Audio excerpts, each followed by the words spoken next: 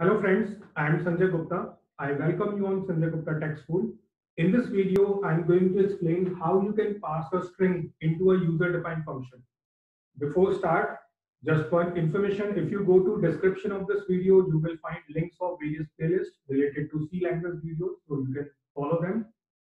Now, after watching this video, you will get to know how we can process a string with the help of user-defined function. So for calculation purpose, I'm going to implement a logic through which we will find length of a string. So I will be passing a string into function and that, that user-defined function will be calculating how many characters are available into that string. So input and output of the program will be done into main function and logic will be available in a separate user-defined function. So let's uh, understand this. So first I'm going to declare a function whose return type is int, name is length, and it will be having a parameter whose data type is char and it will be an array, right? So whenever you pass a string into a function, so string is basically a character array. So that's why you need to put this here. So we are passing one character array. That's why char square bracket one time. If you want to pass more than one character arrays or string, then use comma and then put more than one or any number of character arrays that you need to pass. Return type is integer because whenever we will be calculating length of any string, so it is always in terms of integer. So that's why return type is int. So don't confuse if you are passing characters, so return type will be character always. So return type and argument that we are passing, both can be of separate data type. Now I'm going to define main function. So let's say this is a string and here in double quotes I'm passing India as a string, right? So this is initialized here. So I am not going to read input from user right now, but if you want to read input from user, you can write printf data or printf scanner. So input will be available. So for example purpose, I am uh, myself providing input into this program.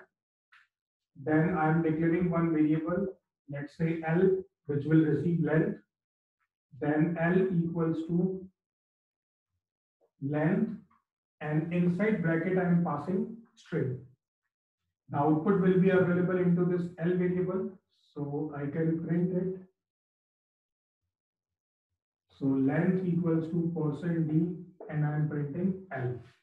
So this way, here you can see I have completely implemented main function and you can see in this main function, nowhere logic is implemented. Why so? Because logic will be available into this length function definition. So this is the way you can divide your whole program into more than one parts. So first part will be always main that is responsible for reading and uh, printing the output and other functions are responsible for applying the logic, right? So after this, I'm going to implement user defined function so that we can apply the logic. So this will be the block. So this is another block where you need to build your logic, uh, which is for uh, finding length of a string. So here you can see this is the calling statement. This is the calling statement. So control will be transferred to this definition and value of this str will be passed to this. And this str we can use because it will be having all the values which are available in this str. So whenever we call a user-defined function, after calling control transfers to its definition automatically. So this str will pass all the values to here. Now we can use this str variable for calculation. So here I am declaring these variables, then i equals to 0, str of i not equals to null. So loop will iterate if we don't have null, if null is there, then loop will be terminated. And here I am counting L plus plus.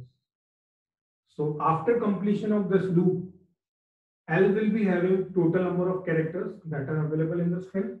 So I can write return L. So this will be returned into this L variable. So from calling, argument is passed to here, then it is processed, and through this return keyword, we can return this variable back to the calling statement. And then this will be printed, right? So we can say this is the input of the input of the function, and this is the output of the function, and then it is printed here. So you can see this second block is having only logical part, and first block that is main is responsible for uh, providing input to the string and output like how many uh, characters are available in that string to user. So this was the input and this is the output. So printf, I am able to print output on output string. So here you can clearly see we have two blocks. This is first block that is main. This is second block uh, that is another function which is known as length. So this is a user defined function and I hope you understood how we can pass string into function with this example. And if you want to watch more programs related to function, so at the end of this video, you will find a link related to a playlist functions in C. So open that and you will find all the programs related to user defined functions only into that playlist. So do watch that and I hope you understood whatever I explained in this video. Thank you for watching this video.